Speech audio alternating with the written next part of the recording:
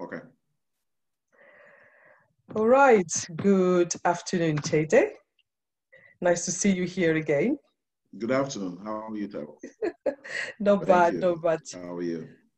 Thank you. Thank you for, for coming back on the platform. Sure, sure. Good, good, good. I know that just to let our audience know, there is a, a lapse in the in the in, a, in, in the in the communication. So uh, when I when I when I'm talking, I probably have to wait a little bit so that the information comes to you before you know you can answer. So I'm just uh, letting the audience know. Okay. Okay, good. So um, Chete is from um, um, Icon Stockbrokers which is the second oldest, you know, uh, most experienced uh, stock exchange firm uh, in Nigeria. Am I correct? Actually, the third. Actually, I have to, I have to, I have to correct that. Actually, the third, the third oldest. Third is the oldest. third oldest? Okay. There was, one, there was, there was another one, but it was it didn't last as long. But it's, I'm third oldest. Yeah. The third oldest. Okay. And, and, and, your firm was um, started in the 70s. You said. Correct. 1972. It was incorporated in 1972. Okay, great, great. So, um, so tell me more a little bit about um, the uh, Nigerian Stock Exchange. I know that there are quite a few on the continent. How many stock exchanges do we have in Africa? There, there are quite there are quite a few stock exchanges so uh, on the continent. So you have the Johannesburg Stock Exchange, which is uh, one of the largest, if not the largest. You have Nairobi. I'm just going to name the major ones. Nairobi Stock Exchange. You have the um, Ghanaian uh, Stock Exchange. Of course, you have the Mauritius. In North Africa, you have the Egyptian, Algerian stock exchanges. Of course, Nigerian Stock Exchange, which is where I am a uh, member of, where I'm, we, I run a, one of the member firms uh, on the Nigerian Stock Exchange. Um, so so generally speaking, when you have markets to, to find markets outside the first world, outside Europe and the Americas, you think of first emerging markets, and then after emerging markets, you have frontier markets. So your emerging markets are actually markets in the BRICS nations. So that's Brazil, Russia, India, China, South Africa now, uh, which are those are the BRICS nations. So those are where you have your emerging uh, stock exchanges or emerging capital markets. Uh, then you have the frontier markets, of which Nigeria is one of the frontier markets. Uh, so they, they, they base it on capitalization, uh, uh, of the value of the exchange, of the all share indexes of those exchanges, the value, uh, which is what, what they base the, the um, division of emerging market and a frontier market. So um, that's those are the differences. So the Nigerian market, for example, in the Nigerian in the Nigerian market, you have about three major exchanges. You have the Nigerian Stock Exchange, where you deal in um, equity traded funds, you deal with bonds, treasury bills, uh, they're all traded there. Then you have your NASD uh, exchange, which is like the NASD, which is they call it over the counter. These are shares that that are public companies but not yet listed on the stock exchange. So they list there. Uh, the requirements for listing are a lot less, so it's easier for them to list there. By regulation, by the SEC regulation, all public com companies must be listed. So if you're not listed on the Nigerian Stock Exchange, you must be listed on the NASD. Then you have the F, FMDQ, which is the fixed income market. That's where all fixed income in, uh, instruments are listed. So you have your federal government bonds, you have your treasury bills, you have your corporate bonds, you have your euro bonds, which are bonds that are denominated in the U, in US dollar. Mm-hmm. Uh, so you have your euro bonds there. Uh, corporate uh, commercial papers are listed there. Bank acceptances are listed there. Plenty of instruments. Uh, promissory notes, also backed by the federal government, are listed there also. Um, so, so we are, we are a firm that have the capacity to bring clients to the market to trade instruments. Um, instruments such as all those I have, I have already um, listed. Um, so the issue, you know, the last time I came, the major issue which we have discussed, so let's just discuss it so that, you know, they will know uh, what has been going on. The major issue with regulation is that part of the know your client requirement, KYC requirement on the Nigerian Stock Exchange is that you must have what we call a BVN, which is a banker's verification number. Mm-hmm. This BVN is issued to each Nigerian that has a bank account. You must have a bank account, a Nigerian bank account at that, yeah. to trade on the on the Nigerian Stock Exchange or any of those exchanges. So um, it was an issue I was having. And so I went back and forth with, with my regulators. And what they actually said was at the end of the day, one of the best options that we could have is to have a fund. So all the mutual funds in Nigeria, you know, the asset managers handle, mm-hmm. uh, you can invest in that because you're sending money directly to the asset manager who then uh, issues you uh, units of the mutual fund. So it would be best, that's what they said, it would be best to just set up a fund where uh, our clients can uh, invest through, uh, whether it be an infrastructure fund or some kind of diaspora fund that um, I mentioned it towards the end of that uh, mm-hmm. last uh, lecture. But since then, we've spoken. So maybe you can give an update on how we can bypass uh, that issue. Yes. Um, I mean, what I've uh, discovered is that, um, I mean, to obtaining the BVN, you, we can pretty much obtain it from anywhere in the in the in the West. I know that when I did mine, I went to London to have it done. I just googled BVN in you know UK, and the address came up, and I just went through it, and within I think a week, I had my BVN. So I think my advice would be for those who want to open um, a trading account with you, perhaps th- that would be the best solution. Just go get it done. At least once you've got it, you've got it done. It would be even easier for them to, if they want to open a bank account in Nigeria, you know, they, they will not have to go through it again. So I would just say, I mean, this is the what I would be telling all my clients, you know, to just go and get the BVN, you know, done once and for all. Okay. So yes. yeah. I don't so know how they do it in the U.S., but mm-hmm. uh, I, guess, I guess if you if you just Google it like uh, like Taiwo said, maybe it'll be a lot yeah, easier to BVN, So we yes. need that to open their accounts. We need mm-hmm. that to open their. Yeah. Yeah, absolutely. Okay, so uh, you've told us um, about the the number of exchanges in Nigeria. So, uh, which companies yes. um, are selling shares in the NSE? in terms of um, are these companies mostly African companies or are these mostly you know companies from I mean foreign companies?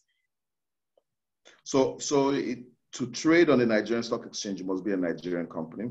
Okay. Uh, so so they are all Nigerian companies trading on the Nigerian Stock Exchange. However, they some of them have have um, dual listings. Some have mm-hmm. listings in the UK, in the US, uh, for example, uh, GT Bank, they have uh, what is called a GDR, mm-hmm. which is a, a, global deposit receipt.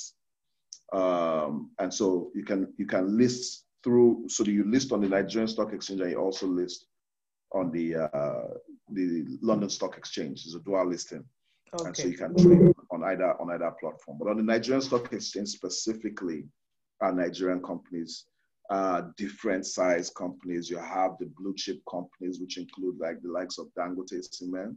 Mm-hmm. You have the likes of uh, Nestle, uh, mm-hmm. uh, Nigeria. Have um, Seplat, MTN. Mm-hmm. MTN is also listed. Uh, Airtel Africa is also listed. So um, those are the those are the higher uh, valued or capitalized mm-hmm. stocks. Mm-hmm. You have yeah. the medium scale at uh, like the likes of Zenith Bank, the IBTCs, some of the other banks. You have your Presco, which is a, a palm oil company, Presco Okomu Oil, and then the oil and gas firms too are listed, you know. I, I, was uh, I follow the Nigerian uh, the NSE, and every time I, am on there, I, I realized that the, some of the most popular um, uh, stocks were from the banks. Is it because the people feel that they are the safest at this point in time? I mean, what is the what is the reason behind it? Well, the banks are some of the most, uh, I should say, transparent stocks that are there. Uh, and for the past decade or so, they've been the most, they, they always pay dividends. Uh, they, they always have, most of them are profitable. So um, a lot of people like to trade in those in, in those stocks. So it's pretty much um, sentimental reasons. And you know, a lot of people on our exchange, we have a lot of foreign investors on our exchange, which who appreciate um, the transparency of the banks with regards to result, releasing results, uh, with regards to paying dividends. Um, so that's that's why majorly there's a lot of there's a lot of um, volume done in the financial yes. services generally. Yes. Yeah. Right. Right. Okay. Okay, okay. Um, I, another thing is, uh, I've got my portfolio, you know, here with a company here, and uh, my wealth manager always, uh, you know, asks me, you know, what, what are the types of uh, stocks uh, we can uh, we should invest in? Shall it should it be, you know, growth stocks, dividend stocks, new issues, defensive issues, you know, to have a balanced portfolio? Um, is that is this is this some of the things that you you advise? um, your clients as well. You know, you, you look at the the profile of, of the of the of the client. What what kind of risk is uh, are they ready to to take, and then you guide them to have a balanced portfolio. It's the same exact things we do here for for portfolio management. So, um, luckily for us these days, with the with the way uh, globalization has gone on, a lot of people are very informed but you also have those who are not, and you have those who just like, okay, look, manage my funds. So before we start to manage funds discretionary for any client, we ensure that we do a, a profile on that client. Uh, you know, if the client is an older client, they'll probably be looking for instruments that, that are less risky. So your blue chips uh, instruments and fixed incomes, fixed income instruments. And then uh, they're looking for regular returns. So you buy a treasury bill or you buy bonds that give a regular return every six months or the front end or back end. Um, and then you can also buy some shares that are not very risky. Um, but when you look at a younger uh, clientele base, you, you would want, want them to diversify their portfolio between both growth stocks and mature, mature stocks. The growth stocks don't pay as much dividend the mature stocks do. Uh, in Nigeria, however, most stocks pay dividends. Um, so um, those stocks, most most stocks pay dividends. So those when you're watching, you're looking at the, the return in dividend in terms of percentages. Mm-hmm. So when you talk about it, uh, dividend yields or even even all other banking stocks doing the same thing, uh, when you have your dividend yields that, that high, um, the risk is a lot less. So yes, you want capital appreciation, but since you're holding the share and you're making your, your returns on dividends in the equities market that are higher than most interest rates abroad, um, you know, uh, you have you have those type of returns. Um, it's it's it's not too difficult to put together a, a portfolio. Okay. Okay. So for so for a beginner, somebody who doesn't know much about you know the NSE, would you advise them to you know put that to park their money in the in the in treasury treasury bills in uh, in uh, uh, fixed deposits or or bank on you know euro stocks euro bonds you know etc yeah so so somebody who is new to the market and is wondering what to do i'll give you a comparison in the us your average uh, treasury bills and bonds are doing uh, usually even below 1%. So you have 0.2, 0.4% yields. Um, now in Nigeria, we're complaining that uh, the, the, the, returns are low because you still have 3% on a one year treasury bill. But we're complaining not because yeah, it's not good compa- comparatively to the US or the UK, but because we were used to 18% returns Wow. On the, on the treasury bills, yeah. So those days have passed now. And so you're, you're about 3% on the, on the fixed deposit with a bank, you're looking same 3 to 4% for a year, averagely. Uh, some are actually like 1.5% now. Um, so yeah, so the easiest route is the disposable income. Um, you can you can even buy you can actually buy some euro bonds right now doing a yield of four or five percent yield. Um, that means you, you buy a federal government euro bond or you buy a corporate euro bond. I think Access Bank has one, Fidelity. Uh, so we can we can also uh, buy those bonds that you know give you semi-annual coupon payments and uh, and and risk almost risk free when you talk about a sovereign bond. Um, so yeah, so you can do that. Or what we have in Icon here is there's an order management system that stock bro- uh, stockbrokers have to have. Ours is uh, with fintech. It's, fintech. Um, yes, so financial technology. We have we have a provider. The name of the company is Global Tribe, and uh, the provider, the, the order management system, gives you access to uh, the stock exchange, so you can see trading going on real time. There's about a five second delay. Uh, so you see trading real time. You can also get research from our portal. So once you, I give you access to the portal, you can access, assess uh, research material. Um, and it doesn't have to be that technical. If you don't want to go too technical, you don't have to. If you do want to, you can. So you have access to this information and, and the, with different algorithms, you have uh, they'll give you recommendations on what to buy, what to sell, what to hold. Uh, tell you why you should do either of those things. And it will give you an intrinsic value. For example, it'll tell you that Zenith Bank, right now, based on their fundamentals, is worth about 22 naira. And you see it's trading at 16 naira 90 kobo. So it's a good time to buy. Buy, hold, um, speculative trading. I don't really advise so much on, except if you're really good at the market. So you, when you, you buy a stock that you know is undervalued and know that it will it will get it will gain its value with time. In the meantime, yearly you collect your dividends. You have your interim dividend in Zenith Bank specifically.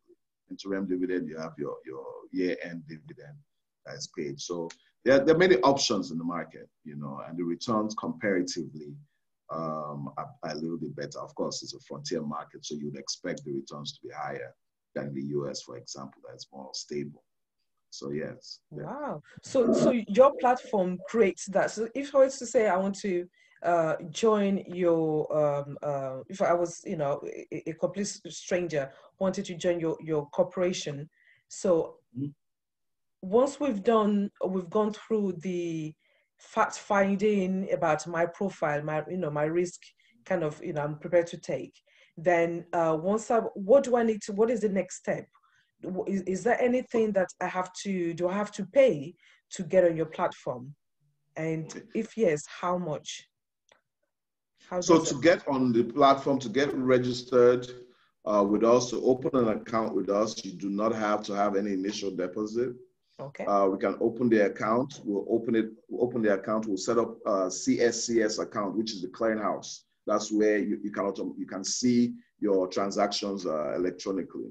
So we'll set that account up for you with the clearinghouse, and then we'll also um, you'll also have access to the order management system where you can now assess uh, recommendations on what to buy. You can see what is going on. And then if you decide to buy, uh, you'll have to now credit uh, our account. Once you credit our account, you can start trading. You can trade on your own from that portal if you want to, or you can ask us to trade for you.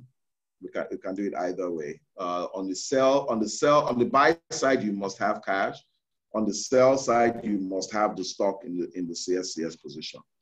So uh, when you want to sell, sell, and we can do a direct uh, claim for you that at CSCS, it will, it will directly credit your account, your, your accounts that you assigned for that purpose. So once we sell, we pay you, pay the money. The only fees that um, come from trading with us is the broker's commission, the stock broker's commission, mm-hmm.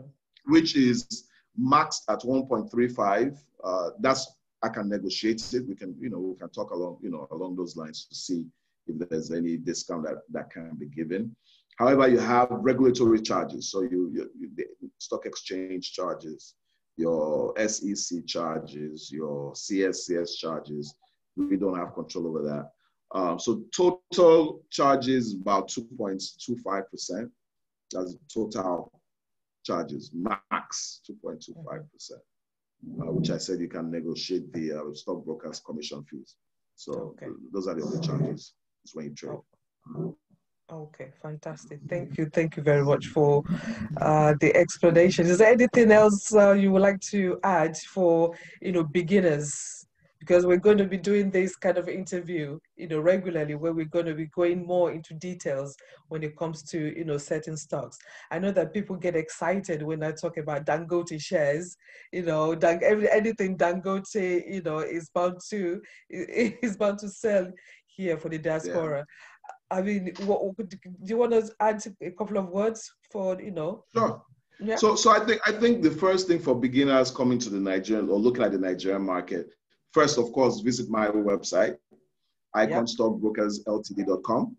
Um, but also go to the Nigerian Stock Exchange website. You know, you can just the NSE nse.ng.com. Go to the Nigerian Stock Exchange website, or you can Google it, and um, get information on what has been going on on the exchange. There's a lot of data on, the, on that website about what goes on on the exchange, the type of uh, values you show year to end uh, returns on the exchange. So you can have an idea of what is going on on the stock exchange. You can also go to the DMO, the Debt Management Office website to see, to look at some of the bonds that are being offered uh, I didn't talk about the savings bonds, which is an easy way, is an easy bond. There's an offer every month. Every month there's a Nigerian savings bonds. Uh, the savings bond goes between two and a half to three percent for two or three years, um, and it's safe, is easy. You get paid quarterly. Every quarter you get a coupon payment.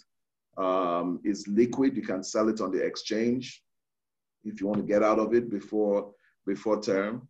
Um, you can even buy a longer term, the, a shorter tenured uh, savings bond on the exchange also. So the, there are different opportunities. So you visit my website, um, visit the stock exchange website, and um, get as much information as you as you want. Like I said, you can open accounts without trading. So you can open the account. We're watching this, the, the market on a daily basis if you're interested. Um, we have information, plenty of information on that portal once I once I give you access to the portal. So yeah. Yeah, fantastic. We, we, we're going to be, you know, uh, putting all the information, you know, on the information page on this for this video. Okay. So, uh, and also, you know, people can go on the Gaia website where, you know, they can just click on the Nigerian stock market and then you got your information there as well. Icon Stock Brokers, you know, Thank Limited you uh, is on there as well. So, so you know, and also if they want to, you know, get in contact direct, directly with with uh, with you, you can just go to the email address Gaia at uh, iconstockbrokersltd.com and that will go straight to to um, to Chete, you know, um, and he'll be able to help you with his team. Thank you very much, Taiwo. Thank you very much for your time. Thank you for Thank you, so Thank you for explaining everything, you know, you know, briefly what is Nigerian stock market about. Uh, hopefully next time we can, you can perhaps introduce us uh, to, you know, go into details into a couple of stocks, go into details and then, you know, share. Yeah, I can do that. I can mm-hmm. do that. But I think, I think what we can do, what we can really do next time is to get, I'll try and get my uh, fintech the, the, the, the other management system I use, I'll try and get the, see if the MD can come on with us. Yes. And that way he'll be able to break it down and we can go through the entire user interface mm. so that it can, we can, you know, we can show it on our, share it on our screen and so you can go through that. Might, it might be advantageous to, to do that also. Fantastic. That's great. I'm very happy Thank about that. Much. So our, our, everything that we have in the West, we've got it in Nigeria as well. So people you know tend to think that uh, you know it's still you know paper based and things like this but everything oh. is done online you know, Definitely. from whatever you want. Yeah. Yeah. Definitely. Thank you. Thank you very much, Chete. And, You're welcome. Uh, Thanks so much. Thank you very much. And have a lovely day. Take you care. You do the same now. Take thank care. you. Bye-bye. Bye-bye. Bye. Bye.